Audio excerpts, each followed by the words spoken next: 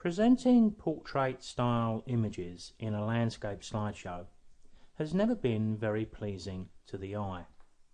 If I just press play on the mini player here, I think we can have a demonstration why. Here we have an image filling the screen, it's going to be followed by a portrait format. For a start, if we're using the dissolve transition, that doesn't look too appealing, and of course we're left with those huge black areas left and right.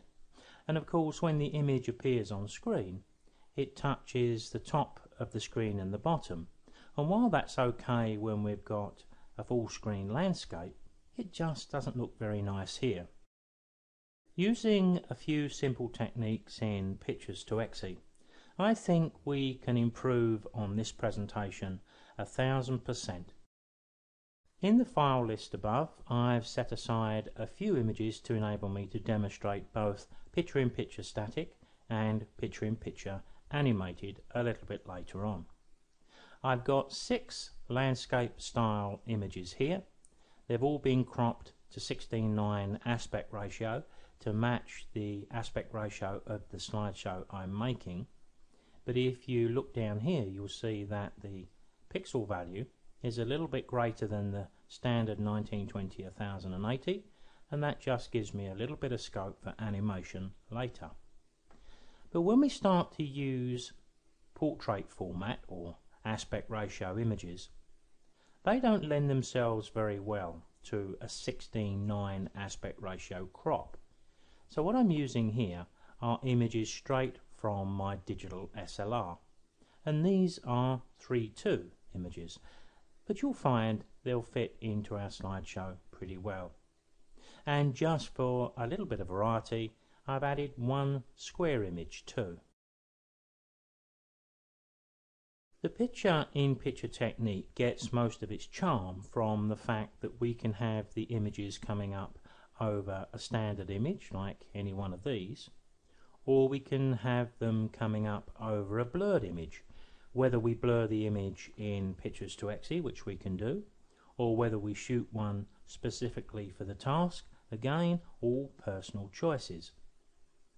Then we need to decide, do we want the portrait images to come up one at a time, one, two, and then three, all three together, the two outside ones and then the center one?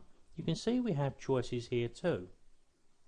What I'm going to suggest is that we remove this soft image and we'll use this image here to bring three images together over the top of this particular one. Now I want to make a copy of this image. I can hit Control C, Control V, but to be honest, it's just as quick to drag down another version. The reason I want two copies is because this image I want the viewers to see as it is, but then I want this image to fade into a blurred version of this one. And it's this one where the inset portrait images will appear. So let's select the second of the two and open up the objects and animation screen. Now what I'm going to do with my picture in picture, which is going to be my background, with the keyframe selected, I'm going to go to the blur option I'm just going to blur this a little bit. I may drag this just a little bit bigger so that I lose that little bit of ghosting around the edge. We won't notice that when one dissolves to the other.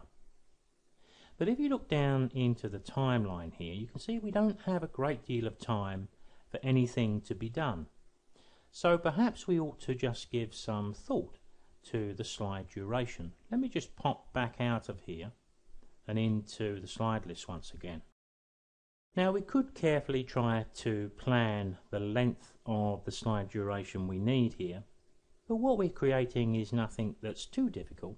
So why don't we just put a value of something like 12 seconds in here, go back to the objects and animation screen, and as we begin to put things together, we'll decide how close we are with that guesstimate of 12 seconds. So let's go and get those three images. I'm going to click into the grey area to lose the bounding box around the background. go to the add an image icon and I can select all three images together so let's select those three as the three insets and I'll open those. As soon as they open on screen if you look over on the right you can see things start to get a little bit confusing because I've labelled all of the images so similar that it's very difficult to tell one from another. Well, there is a way we can deal with this. For example, if I select the bottom image of the set, that's the background. If I go to my properties, I can change the name of that. It's not going to change the name permanently in the other window or a permanent change of the image. It's just here so we can work a bit more efficiently. We could change the names of these, but we're not entirely sure where we're going to locate them just yet. What I can do though is select all three. Using the control key, select all three of those inset images and also using the control key all three of the keyframes at the start. Because the first thing I want to do is to try to work out the size that I need these images so that all three will fit together side by side.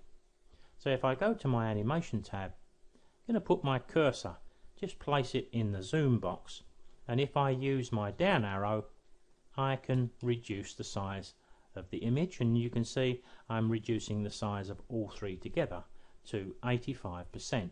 Now just taking a quick look at the size or the width of that and looking to the left and the right have I made that small enough so that we can slide one to the left one to the right and get a nice spread. Well, I'm going to give it a try. I'm going to just select one of those for the moment and I'm going to use my pan X here and just drag it to the left. I'll select this one and I'll use my pan X and drag it to the right. Now you can see I'm probably a little bit lean on the size. I've probably got them marginally too big but I can easily fix that. Just reselect them and the three keyframes and I could drop that down to 80 but now I need to position them correctly. Am I happy with where they're coming up? Well this one could go on the outside edge. This one would be nice in the middle.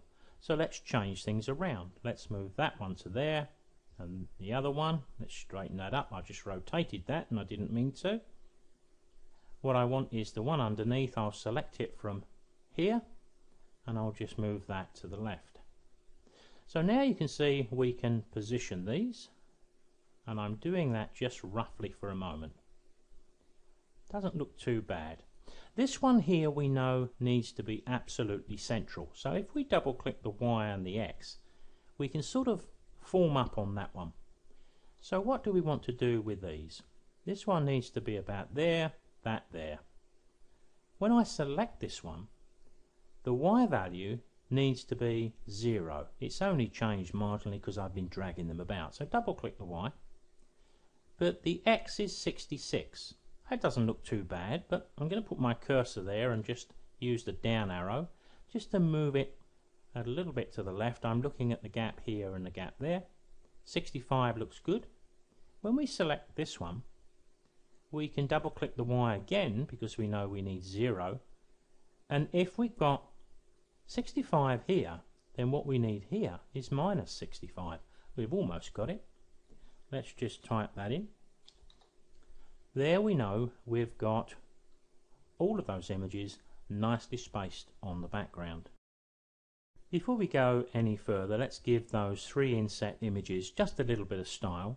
I'm going to select all three of them on the right hand side. Go to my properties tab tick the border. I'm going to put a thickness in there of about 4 pixels. We have to be a bit careful here because we're not sure how 4 pixels is going to be viewed unless we look at a full screen preview because we're only looking at this at 50% size. So sometimes until we get a feel for this if you bring the image up to 100% at least you've got a better idea here of the thickness of that line. So it gives you the opportunity, if you wish, to actually increase that thickness. But I think that's going to look reasonably okay, and of course nothing's cast in stone here. We can always go back and change these later. And I'm going to put a standard shadow on all three of these as well. So already, if I click the screen, you can see they're looking pretty nice.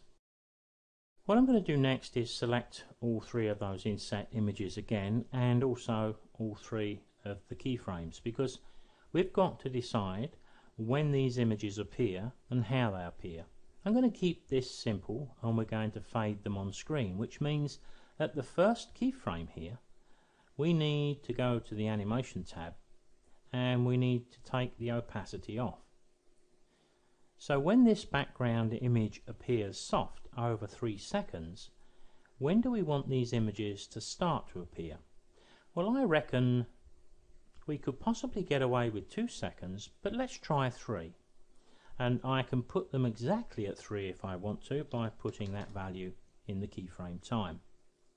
What I need next then is a keyframe for each of those inset images to tell them to come back to full intensity.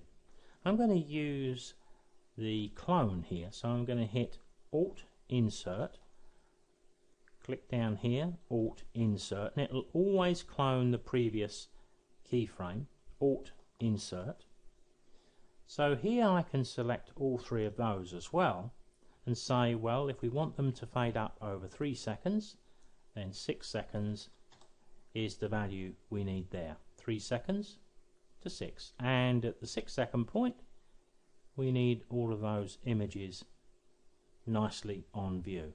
What we need to do at this point is to come out of the objects and animation screen and have a look in the mini player. But I would suggest if you were doing this, do a full screen preview. Now I'll start just before this so we get a good feel for what we're doing. Unfortunately I can't record a video of this nature and also do a full screen preview but we may get away with watching this in the mini player. Now straight away that little bit of movement in the background I found I didn't like too much. Now this is not an uncommon thing. Whenever we do creative work some things are going to work, some things aren't. So in this case I'm going back to my objects and animation screen. I'm going to identify my background and where I give it a very small amount of zoom I'm going to click double click the X to reset it because I want to have another look at that. I'll start from that point this time. So we've got this picture now fading into softness and then the inset pictures appear. Now of course if we was putting this together in a real life slideshow we would have music to consider but for demo purposes I am avoiding that. So we may need to make some slight changes to how long these images take to appear on screen and even when they start to appear on screen. But that's quite quick and easy to do. And in fact because it's quick it does give us the opportunity to try some variables such as let's select this one and go back to the objects and animation screen. One of the beauties of Pictures to Exe these days is we can select all of the keyframes together. If I select the first one and hold the shift key and select the last one, I've got them all selected together. So I could drag these back to that point and have a quick look and see if I like that a little bit better than what I saw a few moments ago. Doesn't look too bad at all, does it? But I've just changed things again and I've actually started to bring up those three inset images halfway through the two second fade on screen. So already I've had three different ways I can bring these images on screen and we need to use personal preference I guess to decide which one suits us. So bringing you back into the objects and animation screen, you can see where I positioned the keyframes prior to that last little test. And I think it works in all three positions, so I think it's going to be more of a personal choice than any direct right or wrong. But we do need to give some thought to the slide duration here, and of course we would need to take the music or the soundtrack into account. But if we've got three images and those three images are fading up to be fully on screen by the 4 second point, if those images remained on screen to view for 4 seconds, that gives us 8 and then we've got 2 seconds to fade off, which could give us 10 seconds as a slide duration. So if we wished, we could test this, but we do have the scope to drop down that slide duration to 10 seconds and we can tweak it to match the music fairly easily. One last little test here from this point, we'll press play, not forgetting, of course, when you're doing this work, save a project file regularly. There's the blurred image and the three insets come up nicely. And they leave the screen. They don't seem to be on screen too long and they don't seem to be rushed either. But it's the music that's going to determine when this image brings the insets to a close.